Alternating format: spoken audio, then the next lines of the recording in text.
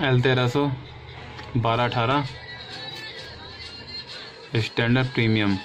L तेरह सौ का ये वाला प्रिंटर है और इससे बारह अठारह की शीट निकलेगी ये एल तेरह सौ और इसमें हम कागज़ लगाएँगे, यानी कि विनाइल की शीट। एक विनाइल पेपर अलग होता है, ये वो वाला फ़ोटो पेपर नहीं है।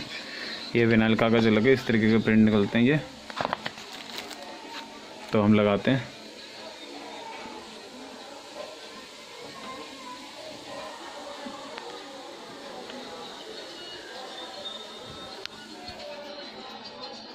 एक मिनट।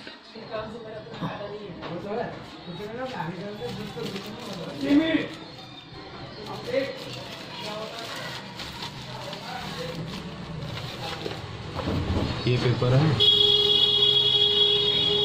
ये काफ़ी सॉफ्ट रहता है और पीछे की तरफ़ प्लास्टिक की गमिंग रहती है, इसको विनाइल स्टिकर पेपर कहते हैं विनाइल स्टिकर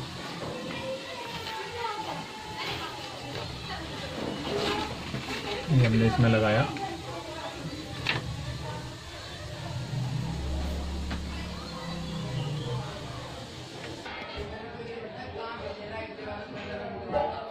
ये हमने कमांड दी।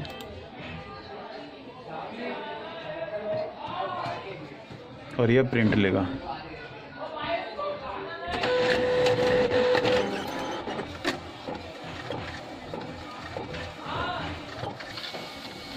मान लो बच्चे से या तुमसे कोई मिस्टेक है ठीक है। कोई नहीं।